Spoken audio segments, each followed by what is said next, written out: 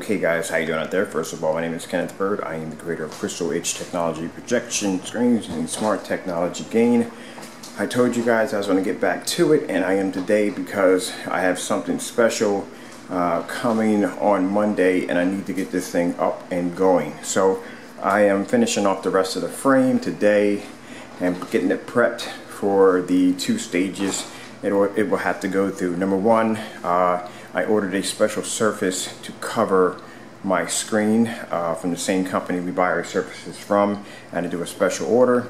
And um, also to uh, getting the formula ready for the immerse um, to basically uh, cover the screen. All right, so uh, it's going to be a, a, um, a uh, four-step process.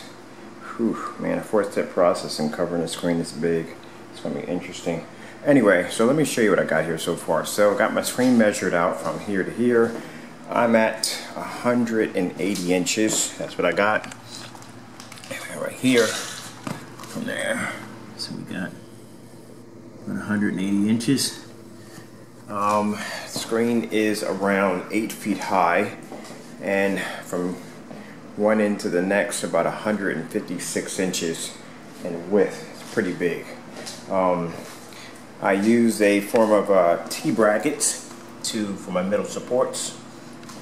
So I got one on this side and then one on the opposite side as you can see right here to give it better support. And the reason why I did it this way because the screws are pretty long. I didn't want the screws actually interacting with each other and cancel each other out because they're actually hitting each other. So put this on this side, this on this side. They're barely missing each other by a couple of inches. And over here, I use more heavy brackets. Um, now, I wanted the frame to expand a little wider, so instead of, instead of just uh, fencing it together by extending one piece to the next to the next, I actually went out and just got a wider piece of wood on the ends to extend the screen out a little farther, which is a pretty good idea, if I say so myself. All right, so more T-brackets from here to here. This goes all the way to the center for the um, center supports. And then the L's basically um, support all the way from the back of the front the back of the screen to the front of the screen. There's this is where the L's are. Now I may put some um, let me show you these brackets. I'm gonna get some bigger ones more heavier ones. I got one here. Now you see these brackets right here? Uh, just to reinforce this, the frame because it is already reinforced it's pretty sturdy but just in case to reinforce it just a little bit more I got these really metal, huge metal brackets. They're bigger than this, so huge brackets. I'm going to be putting them right up in here in each corner all the way around just to add more um, sturdiness to the frame.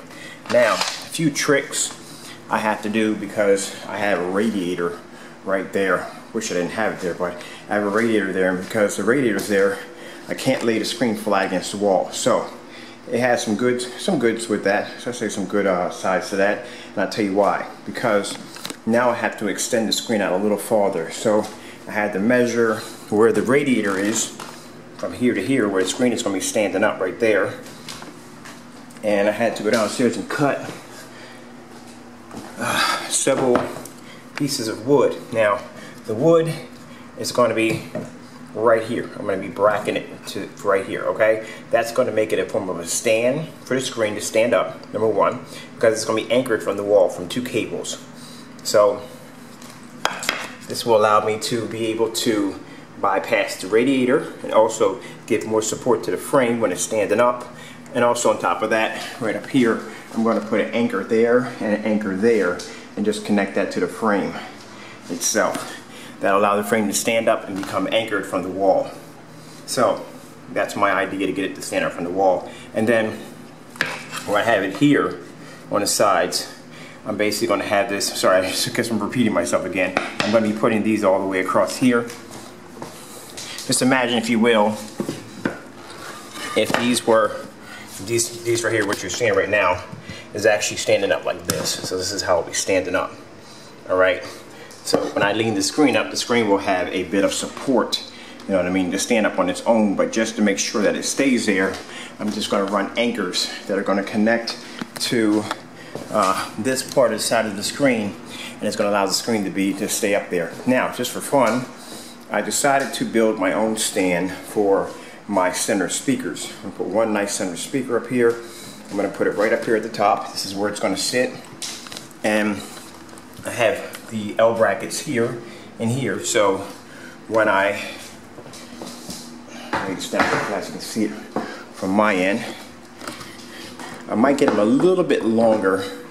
I might get the L brackets a little bit longer so they extend a little farther out. But this is the idea I want to give you. So I have the L brackets here. These are going to be locked to the frame. Okay.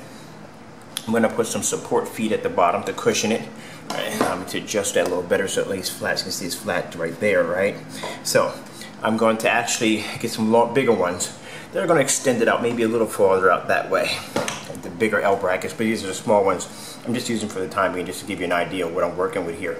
Now, by doing this, now imagine if you will, I'm going to be allow, allow it's going to allow me to be able to put my center speaker here. So this is going to be bracket here. Just imagine if the, if the uh, screen is standing up right now. So this is going to be bracketed to the back of the screen. I'll have my center speaker here. I'll have a Bluetooth to my equipment over here. And this will allow me to have my center speaker directly traveling through my giant screen without me have to worry about drilling any holes in the wall. I have to drill holes in the wall anyway to put the anchors up, but still, you know, it's a pretty cool because it's all attached to the back of the screen. Pretty cool. So this is something I came up with. Pretty cool idea. You know, use it if you want. You know what I mean?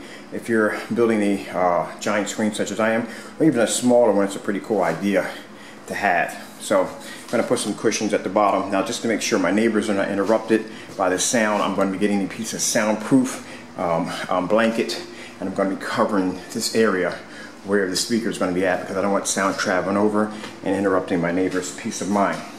But yep, there you go. So this is what I've been working on.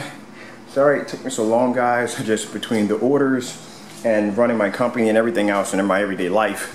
I've just been putting it off and putting it off and putting it off. But now I'm just really getting down to getting it done. Tomorrow uh, the Surface comes in from Japan that I ordered and uh, I start working on uh, mixing about probably about a gallon. It's to take about a gallon to knock out this screen. So that's basically about it. Okay guys, hope you enjoyed the little update on the massive immerse projection screen. Can't wait to get it done. And you guys know what I went through with the short throw projector over there because I literally had to rebuild the, the lamp that came into it. Uh, for those of you who don't know, I'll post it at the bottom. Um, they sent me the lamp and the lamp didn't have the brackets and there's some pieces missing so I had to take apart my old housing and remove the um, the old lamp from the old housing and put in the new lamp. I had to actually rebuild my own lamp for the projector but so far it's working fantastic so I learned something new. Okay guys hope you enjoyed the video demonstration. I'm going to finish this off and I got a couple more orders downstairs to knock out and I got to go up there and update the website. So hope you guys enjoyed this. You all have a good one. Maybe you can take some ideas from this and design something interesting or better. You know what I mean? Just have a ball with it. Okay, you guys all have a good one.